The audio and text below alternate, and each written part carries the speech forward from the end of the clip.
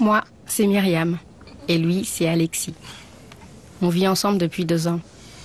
Quand on s'est rencontrés, Alexis m'a dit qu'il avait le virus du sida. Et pour moi, ça n'a rien changé. Parce que séropositif ou pas, Alexis sera toujours Alexis. On s'aime, on se protège tout simplement. À vrai dire, la seule chose qui soit difficile à vivre, c'est votre regard.